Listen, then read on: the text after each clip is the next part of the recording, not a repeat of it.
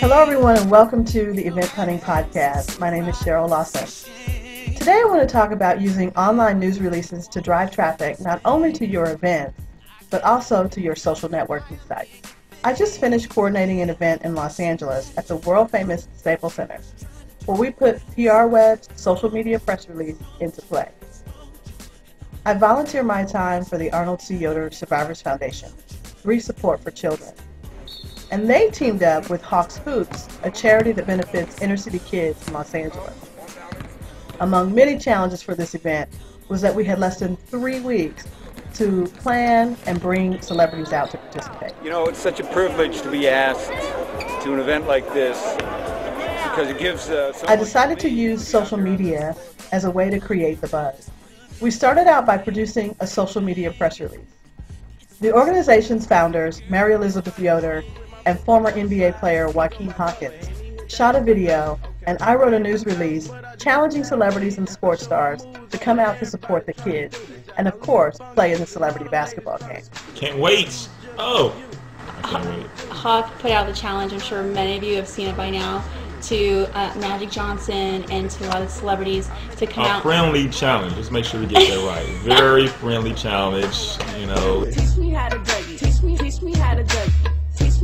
By tying the newly created Facebook fan page to the news release, we were able to see not only how many impressions and reads we received using PRWeb's analytics, but we were actually able to see how many people raised their hands by joining the fan page. For example, it had 30,000 impressions, around 1,000 reads, and because we tied it to the fan page, we added 150 fans to the Facebook page all in 24 hours. By the time we went live with the second news release, we had created enough buzz, and readers were now looking for where they could buy tickets, and of course, how many celebrities answered the challenge. As a result, we received great response from celebrities and athletes, and the kids had a great time. The fan page now has over 600 fans to date, and the community we created can continue to be cultivated until the next event. Continuing with the social media strategy, we've now uploaded the videos from the event so people can continue to support the foundations and their work. As an event professional, it's great to see some of the tools that I've been using for a long time, like PRWeb, continue to grow with the new social networking tool.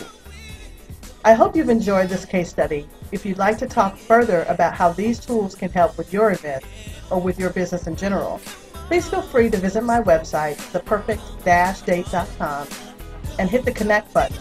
Or you can follow me on Twitter at Party Aficionado. Yeah! Can you make two shots?